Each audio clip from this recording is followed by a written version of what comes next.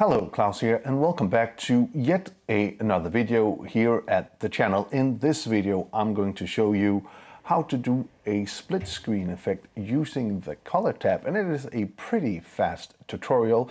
So without further ado, let's get right to it. Let's go. Okay, so um, here we have our footage. We are going to make a split screen on these two clips here. So first off, let's just align them up and then I'll just push D to disable the bottom one and I'll go into the color tab.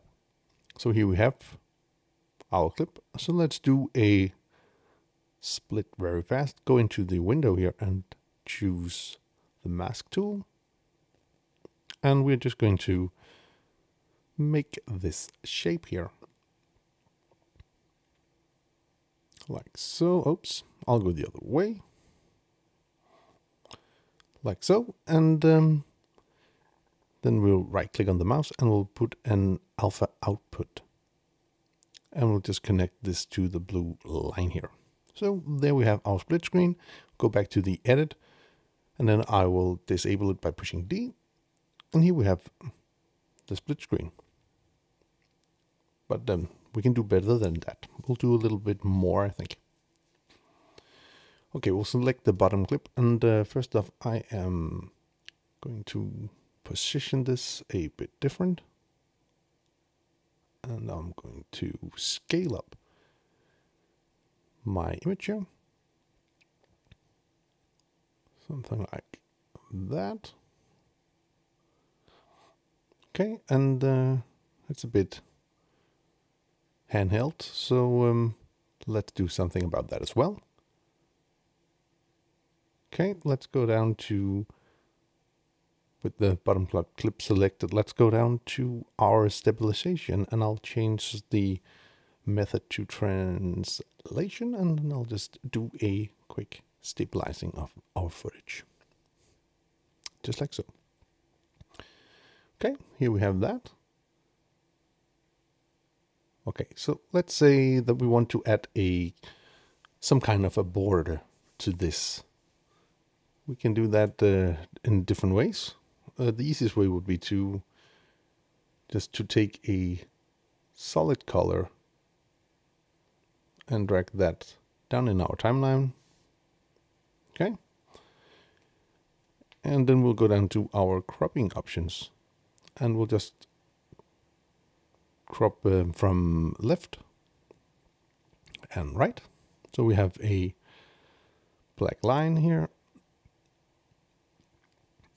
and then I'll just turn this a little bit like so. And then I am going to scale this up.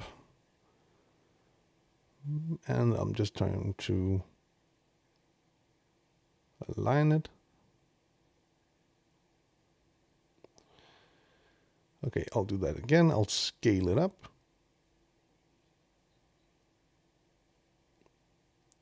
And then I am just going to use the position to make it the right place and I'll do a bit of scaling again.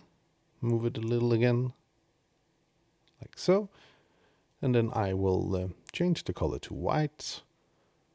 And then I can go down to my cropping options and I can make it either bigger or smaller. In this case I want to make it a little bit smaller like so and then again back into the position and make them the way I wanted to.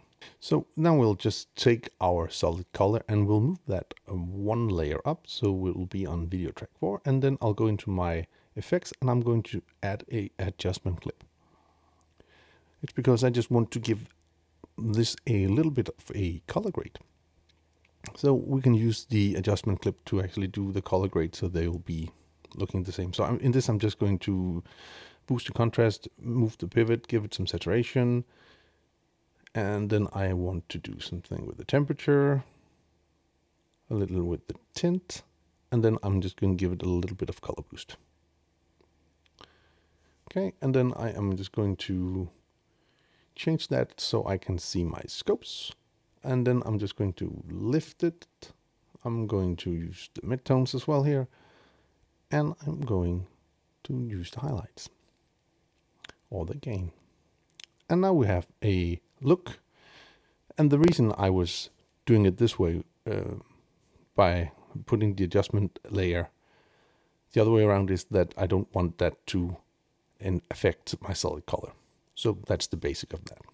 Anyway, that's how you do a split screen in DaVinci Resolve 16 in the color tab. Anyway, I do hope you found this video useful. If you did, please hit that subscribe button, give the video a like, share with your friends if you think it will help them out. And if you want to be notified every time there's a new video on the channel, please hit that bell icon down in the corner. Until next time, keep filming, keep learning, and keep sharing.